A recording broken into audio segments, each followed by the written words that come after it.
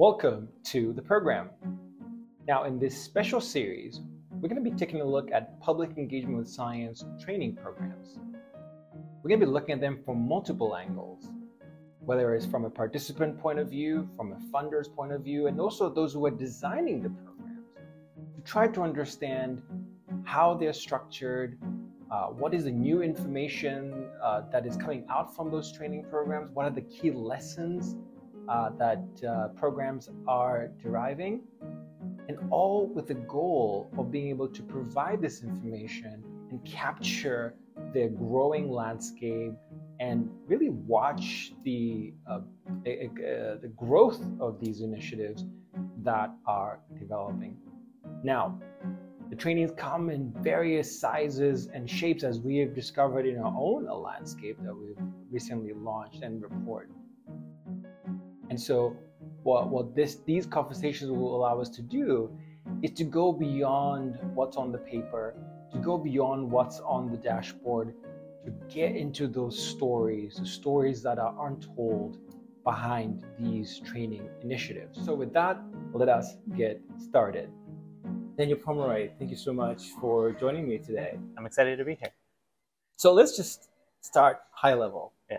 Tell me a little bit more about the Scientific Citizen Initiative. Yeah. Because online, this is what it says, and I quote, the SCI, we're going to use SCI, Yeah, as the acronym. Is that okay? Yeah, yeah. Is a lab where we create, test, and export innovative programs to enhance careers STEM graduate students and elevate the depths and degree of meaningful interactions between scientists and society. Yeah. That's a lot. Yeah, yeah. Tell us what it means. yeah, I will definitely uh, definitely unpack that a bit. Well, um, I guess at a high level, it's important to note that um, SCI really came about um, as a response to student demand um, for engaging with society. I think students are realizing more and more that uh, the research that they're doing is really butting up against really thorny um, questions, uh, ethical questions, um, and ones that society should have input on. And so the program started about four years ago. And what we do is we create uh, new types of graduate training programs that provide students with the uh, skills and experience necessary uh, to think about how to engage communities, um, both in their research process and you know to develop uh, career skills that they could use uh, to work in careers outside of academia.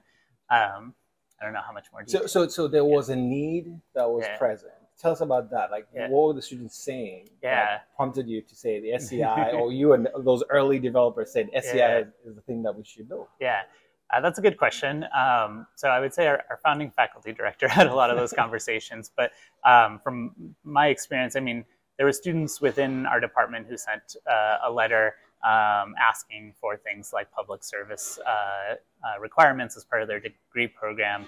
Um, and students really interested in things like science communication and science policy. I mean, from my experience, uh, I've done a lot in the science policy world, and I've had a lot of students ask uh, for me to create science policy courses, and when we did, they were, you know, all uh, enrolled by twice as many as we could accommodate, and that sort of thing. So my experience with student demand is is more on the day to day, but I know that there were specific demands uh, prior to me uh, coming on uh, to SCI um, that were made of students by the department for things like public service requirements in their degree program, uh, realizing that science can't just operate in a silo and that uh, they really need to understand uh, what it means uh, for scientists to engage with communities. Yeah. And ha- and has that grown over time? So three years, three four years. You said Yeah, is the demand grown? yeah. Yeah, I would say so. Like as as the word got out about us, we've become more and more popular, um, and the demand has grown not just among students, but also of other uh, organizations. And so, like uh, for example, the Broad uh, Institute of Harvard and MIT has asked us to come uh, help develop some programming uh, called the Societally Engaged Scientists, and we help. Uh, them think through what that should look like. It's a certificate program for their trainees um, and staff scientists uh, on sort of ethical societal engagement. Um, and places like that, or Boston University has also, uh, we've uh, wrote grants together with them um, to think about how we really revitalize STEM graduate education Mhm. um, to include a lot of the components that are currently not taught at all, but students realize are, are important to being a sort of well-rounded uh, scientist and having real impact in the world. And so, and students are doing this outside of their sort of required Yeah. curriculum. Can you tell us more Yeah. about that? How are you finding ways to integrate Yeah. this into their already very busy yes, schedules? Yes, so that's that's tricky, and all of our programs are explicitly designed to not interfere with their academic responsibilities Mm, because okay. we know that is the the primary purpose for what they're here uh, to do, and also uh, you know people uh, uh, PIs of the students um, have you know very different opinions about extracurricular work. Um, so we address that in a couple ways. So first off, a lot of our courses are what um, the medical school calls nano courses. They're kind of workshop style. I think they work out to be either a third or a quarter credit. Um, and they take place basically two evenings for three hours each session. So it's something that students can manageably take um, just kind of outside their normal work. Um, and then our civic science clinic um, is our experiential learning program that we run over the summer. It's uh, a fellowship that puts students in service to society, either working in the Massachusetts State House or Mm. in Boston-based nonprofit organizations. Mm. Um, and that's a part-time program, so it's 10 weeks, 20 hours a week, and students explicitly have to get their uh, PI's sign off on participating in the program. So that way, uh, we make sure that we don't interfere with their work. They also develop a work plan with their PI to make Mm. sure that they have clear expectations for what they're supposed to be doing. Um, and surprisingly, even though these are all extracurricular and they take a lot of additional time, students still want to do it. Um, and so there's, uh, you know, demand um, is so strong that even when they kind of receive no technical academic credit for their work or very minimal credit, they still take the time to do it. I mean, are students saying, "I wish this was just part of my curriculum"? Yeah, they, for they- they are saying that. Okay. Sure. Yeah, I mean, that was that was part of the impetus. Like I said, there was this letter asking for a public service requirement, but Right. yeah, students would, I think, appreciate it if it was more of a core of their work. And I know that it's very like PI by PI whether or not students feel like it's um, uh, sort of appreciated that they're doing this versus like kind of you know an extracurricular activity that's side. yeah that's Yeah. on the side and there are a growing number of faculty who i think realize that this is important for students it's important for their career development it's important for their well-being to understand like Mm, why their mm. science matters in the world and it's important for the future of science that uh, scientists um, actually engage with society so that the research they produce is is you know socially acceptable and is actually solving problems people care about um, and so i think not all uh, faculty uh, sort of share that mindset, but a growing number do, and so they do encourage and support their students in doing this. Maybe expanding, shall we say? Yeah, right? exactly, Um, exactly. and, It's a, it's a culture change, uh, long-term effort. and exactly. And, and Yeah. the CSI, and so there's so much we can talk about the CSI, and we don't have time for that. I'm hoping SCI. I'm, uh, SCI, SCI, Yeah. acronyms. Yeah. We at Harvard. There's, way. there's We- so many of them. we at Harvard, lots of acronyms, different uh, acronyms to keep in mind. Yeah. Um, the Civic Science Clinic, you Yeah. briefly mentioned it earlier. Yeah, Um, there was a precursor to this program. Yeah, yeah. Right? So tell us about what, what, what did you learn in that precursor program that, Yeah. that said, let us create the Civic Science Clinic? yeah. Yeah, so the precursor program was the uh, Massachusetts Science uh, and Technology Policy uh, Mhm. Fellowship. Um, and that uh, was modeled after a lot of the state fellowships. For example, California has the largest one that places scientists in the state government, in the state legislature, uh, legislature uh, as part-time, uh, so, uh, sorry, as policy advisors to state legislators. Mhm. Uh, we, like I said, developed a part-time version of this to make it uh, accessible to students. Um, partly, well, a quick sidetrack. So we did a report early on that looked at the career, uh, the skills necessary to make a transition uh, to careers in science policy. And one of the big uh, things that came out of that is, you know, some level of real world experience, Mhm. which students typically get from sort of science policy groups, et cetera. So we were thinking about how do we give students this experience um, in a way that they can do concurrently with their work so that when they graduate, if they want to go into science policy, they have the background, they have the resume, they have the skills and experience uh, to make that transition. So that's what launched that program. Um, and uh, we received funding to do a three-year pilot. Uh, it went really well every year. Demand grew both from the students and especially the state legislators. We never could match the demand on that side. Because the students are placed with the the Yeah. legislature, right? Yeah, And over the, directly, over the yeah. summer. yeah, yeah, yeah. Okay. Yeah, they're placed directly in an office uh, of a legislator, the state um, senator or representative or on one of their committees, Uh, uh, and they provide you know additional research support that oftentimes is lacking in the state house. There are not a ton of people mm, uh, with STEM backgrounds, especially you know STEM PhD uh, in our case candidates, um, and so they really are able to do a lot of analysis uh, and quick analysis, pulling together a lot of different information sources that mm, uh, that every office has found very helpful, and uh, everyone has reported that they would host a fellow again and tell a colleague, and they must be telling colleagues because we keep getting more and more the demand. requests. Yeah. And so they're, translating some of the research, right, for these legisla- legisla- le- legislatures so that Yeah. they can understand. Um, I read online that the training, so they have a one day training, is that right? For the- Yeah. For the graduate students. Yeah. Um, is what are they learning there in that one day that Yeah. you think is enough for them to Yeah. do Yeah. What they gotta do? so because the program is is overall a training program, the Yeah. the one day is really to get them um, orientated to the state house I and to engaging with policymakers. And so I think there are two uh, two things that we hope that they take away from that training. One is very functional. It's how does the state house work? Like Mm. how do you know bills get proposed and committees uh, get formed, et cetera, et cetera. Um, the other thing is that we try to incense, uh, sorry, we try to instill in them Mhm. uh, a sense of humility for the role science plays in public policy. Because the worst thing for us would be if you know these students went into the state government uh, acting like they had all the answers, um, Yeah. because we know science is just one of many inputs to public policy. Right. Um, and we do that. We actually put them. Uh, all of our programs, I should have said, are uh, simulation based, uh, and so we put them in different kind of role play simulations where they're trying to make Ah, policy decisions, um, and through that process, get to learn in a very hands-on way uh, that science is just one of many inputs, and that you know different choices can have uh, unexpected outcomes, et cetera. Right. So. Um, so those are the two things we really try to prepare them for, um, with the goal that like when they step in, they're they're going to be learning all the details of you know what science policy is while they're there for the summer, but that at least they uh, have enough sort of orientation to come in, uh, know what they're getting into, and doing it in a respect, respectful and responsible way. Yeah, and is it bi-directional piece of it? It's not that they're there to Exactly, share and yes, showcase yes, information. They're actually learning from Yeah, um, yeah. the other staff as well, Yeah. uh, which is important. Um, and so with the clinic, so this is it's been operating. Is it?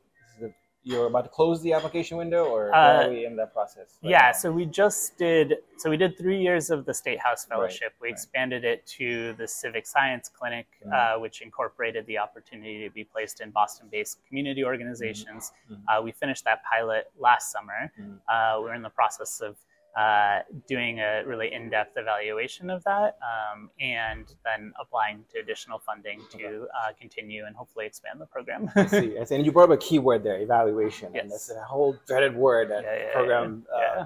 Uh, director is always fearful of. Yeah. Tell us more about your philosophy around evaluation. What Yeah, are yeah. things that you are keeping track of to say if this happens, yeah. then we'll know that what we're doing is working. Yes, yes, that's that is always a difficult question, uh, especially in a place like you know engagement with society, whether it be Right. public policy or Right. in the community. There's so many inputs that could affect the outputs and uh, and the long term impact. So um, what we do uh, currently is we do um, an evaluation at the end of the orientation and at the end of the program of uh, the students of the uh, host offices um, or Mhm. organizations um, and the PIs. Um, in the PIs, we just look for whether or not the students maintain their work, and it's been fine across the board there. Uh, and then offices and students, for now, it's self-reported impact, right? And the Mm, offices actually mm. provide a good amount of detail of like the student informed this uh, report, which led to this legislation. Um, and there we can draw some pretty sort of causal links that they're having impact. Uh, the students, a lot of what we ask them about is what um, sort of skills they learned and how Mm. prepared they feel for future careers and how interested they are in careers outside of academia. And so, And, and let me uh, Yeah. jump in a little bit. So this is retrospective uh, Yeah. evaluation in a way, right? They're looking back in that period of time where Yes. they've joined. What changed Yeah, in their skill set? Yes, yes. Continue. Yes. So yeah. So at the end of the the program, we really look at you know how the program impacted students, host offices, or organizations um, in the immediate. Um, in the longer term, we track uh, career outcomes of students. Mhm. We've already had um, three different students uh, who've gone through SCI programs go on to do uh, policy fellowships, whether it be AAAS or the California one. Um, and in the sort of very long term, we also want to track how those work products, whether they be policy memos, legislation, reports, et cetera, uh, then actually you know go on to either be new legislation or be you know legislation that is enacted, mm-hmm. um, or with the community organizations, how the sort of educational programs or reports there are then used to make decisions. And so, uh, in the long term, we really want to see like does the student engagement uh, impact the decision making process of the organizations? And does the engagement with the organizations impact the students' career choices?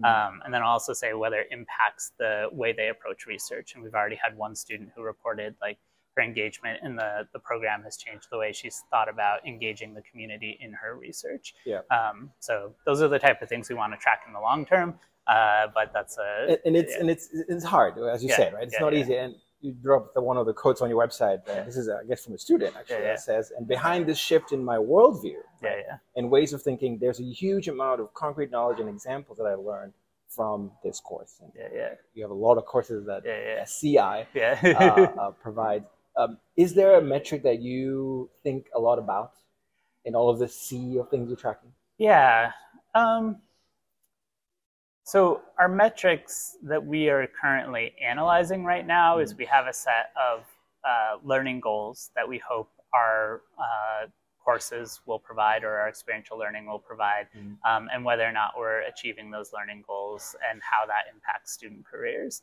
Um, and so it's different by each course. So each course like has a syllabus with these are the learning goals, right. and we want to show that SCI's approach, which again uses uh, simulation-based uh, pedagogy that puts students in difficult sort of decision making roles actually prepares them for careers by providing skills that they're not getting in the um, in their traditional uh, academic career.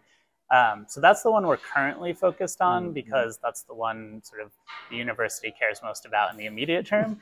Um, but then these longer term tracking things is really about how does this engagement change the way that students think about um, how to create dialogue with community mm. uh, in a way that's bi-directional and informs their work and is also helpful to the community. Uh, that's going to take some long-term tracking and uh, some uh, interviews, uh, qualitative interviews with right, students right. years out from doing the program. Um, but those are the two things that we um, kind of are very focused on. Because um, this helps you tell the story about yeah. the impact that you're having. Yeah, and, and yeah. by the way, for those watching this, do go to the SCI uh, SCI website because yeah. there's a lot of reports that you guys have put out, and yeah. the one you were referring to earlier is the 2021, I believe, right? That yeah. t- titled "Science Policy Careers for PhD Training Scientists," and in there you had a breakdown of all the the skill sets, if you will. Yeah, yeah. Science policy compared to science communication. Yeah, yeah. Doesn't have sort of well broken down like like here's a bucket list of core skills right, that are there. So you mentioned that you, you have all these stakeholders that are involved, right? I'm assuming yeah. you guys are engaging them throughout to thinking what new thing do we design? Yeah. Right. What core skill do we need to focus on? Yeah. Well, a couple of comments. So 1st mm-hmm. in that report, we identified yeah. both skills and what we called mindsets uh, that uh, make um, scientists successful in the science policy world, mm-hmm. and the two primary sorry. um, the primary skill we identified uh, is communication, and then the primary mindset is a humility for the role science plays uh, in society. Um, and so that's um, those two things I think underlie a lot of edu- uh, sorry a lot of SCI um, educational goals.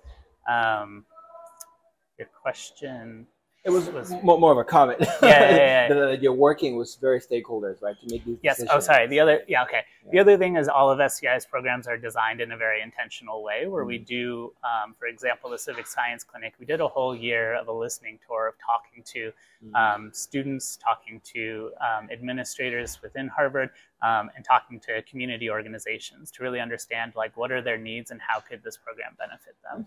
Um, and so I think it's really important, um, you know to, to note that that these programs are not just you know great ideas that come come from within SCI. They're uh, put together through dialogue with stakeholders um, to really be intentional. Um, and it takes longer right. uh, than just throwing together a program that seems like a good idea, but I think it leads to like a more um, robust um, engagement right. Um, and learning on all sides. And that takes time, right? Because I Yes. think, I imagine there's a director, maybe a potential director of a program Yeah. at a different university trying Yeah, yeah. to do this, right? Yeah, yeah.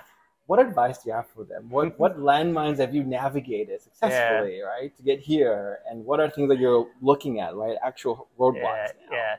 So I'll make one comment for, for anybody in academia. Um, one thing that, uh, yeah, so I'll just say one thing for, for people in academia, especially, you know, faculty or others trying to start new programs, is it's really important um, to, to be thoughtful about these things because the worst thing you could do is damage your relationship with the community. And uh, we have lots of historical examples of, of that happening. Um, and I think there's a tendency, especially a lot of people in the tech world, to just, you know, uh, try new things, see if they work. If they don't, iterate on that. Um, and I think that's the wrong approach uh, when it comes to engaging with communities. And so one of the things I work to do with our organization and others is, you know, develop a theory of change to really think through like why are we doing this, um, and what is a, a, way that we think will advance this. And then again, doing the stakeholder engagement, the listening tours, et cetera, Right. um, are really critical to building new programs that exist at the interface of science and society. Uh, and so I would say like that's the biggest sort of thing I've seen people get wrong, um, and the the place where um, I think we've added a lot of value in our partnerships with other organizations. I see. Yeah, and uh, in a sense that um, you know you have some numbers on, on the on the website, right? You've had I believe twelve fellows so far, right? Uh, or probably more by now. Yeah, more after this uh, last cohort. Last so I think the last cohort brings us up to 17. 17. Yeah. Um, how many courses roughly do you, guys offer right now?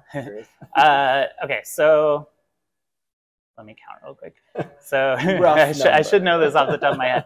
Um, so, uh, well, okay. So one of the things is every year we try to innovate and create a new Ah, nano course. Um, so we're constantly adding to that, and right now we're finalizing one actually around uh, geoengineering. So like how scientists are thinking about uh, altering the the climate of the planet.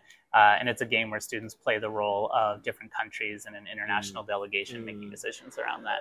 Um, so in any case, we've we've made one of those every year. We're in the process of making one around uh, the um, history of racism in genetics um, uh, for genetics researchers to try not to not replicate that. Uh, to more directly answer your question, um, I think around 10 courses uh, right now, plus the experiential learning program. Um, but again, our goal is to make a new one every year. Um, and then also to export them. So if you go to our website, there are uh, instructor guides for one of our nano courses, um, as well as an online uh, open access uh, educational platform where you can actually do one of the simulations yourself. Um, and then uh, there's a, a, you know, quite a bit of material for instructors who want to use this in their classroom uh, on how to debrief uh, the simulation in a way that gets at the learning Wonderful. goals. So, so are they on that note? Are they contacting you saying we are using your material? We just put it out a few months ago, Okay, so okay. we haven't, I think, directly through our website. However, we have worked with faculty out at other places like BU to uh, have them pilot our material in their classroom. So we Ah, have done okay, that, and we have gotten some feedback. Um, I don't know off the top of my head whether or not uh, somebody has responded to the one, the new one on the website see, yet. Um, but Go uh, there. Yeah, yeah. go, go check out the website. Uh, check out it's uh, on CRISPR gene editing Okay, uh, which is a hot topic. Um, and um, yeah, uh, Okay. so that would actually probably be a better question for my co-director who leads the curriculum. But you in any know- case, we do have we do have experience piloting uh, other faculty teaching our courses. Right, so right. again, our goal is to like not just develop these for Harvard, right? Like it's really great that we can pilot them on Harvard students, to refine them, et cetera. But our ultimate goal is to export them so they're useful to uh, the broader scientific uh, community. And that could be even a potential metric you can track over time where your Yeah. seeds have landed. yeah, right? exactly, yeah. Uh, Yeah, we do have all those built into the website, but that's actually if an instructor. This is why I probably have to open open the box at some point. But uh, when they go into the simulation, they have to fill out: Are you an instructor? Do you plan to use this, et cetera, et cetera. So we, we might have some metrics there already, but uh, we are collecting them for a little while before we look to okay. see. a lot of tips here, guys. So Yeah. many, so many tips. yeah. I want to ask this question because I think it doesn't get asked enough. Um, for the public, uh, what should they know about what you're, what, what SCI is trying to do? yeah. Because we tend not to think about them. Um, at least in your programs, you do have community side of things, but Yeah. If a community member is watching this right now, Yeah. um, what do you what words do you have for them? Hmm. What should they care that you're doing this? Yeah, I would say it's a lot of ways to answer that question. um, I think we think about changing the culture of science to make sure that scientific research uh, is more reflective of society um, and society's values and interests. I think a lot of people uh, in the community, um, outside the scientific community, sort of see this disconnect between science and society and feel uh, sometimes that you know scientists um, don't really care what the public has to say or think um, and are just doing the research that, that they find interesting. And I think uh, this is a long term, uh, in the long term, this isn't a sustainable relationship between science and society. And so, what we would like to do in the long term is ensure that science is working alongside society uh, to really um, take in input from the community and solve their problems. Um, and so, to the community, I would say, uh, we're, we're working on a long-term effort to make sure science helps you. and, and I think there's no other better place Yeah. to finish this conversation. Now we need to have you back because we're literally just scratching the surface Yeah. here, and there's so much more to unpack. Yeah. As I mentioned, the reports. There's tons of reports, and I'm betting you're working on a few others. Yes, yes we have you know? have a couple others. I, I'm working to edit and finalize one that's been on the, the radar for a while on Yeah. institutional change in academia. So it actually relates to that last topic of thinking about how do we ensure our programs are, uh, you know, not just helping you know the individual students that we're working with, but really think about how that can lead to this long-term culture change where science is working alongside society. So uh, it is it is on my to-do list to finalize that one and get it out there. Uh, we'll also have an evaluation report coming out soon, Yeah, um, and yeah. so yeah, there's more to come. Yeah, and we're, we're gonna have you back for sure yeah, uh, yeah. to chat about this. Uh. Daniel Pomeroy, thank you so much. Cool, great, thank you. It's uh, great to do this. I really appreciate being invited. Awesome, awesome.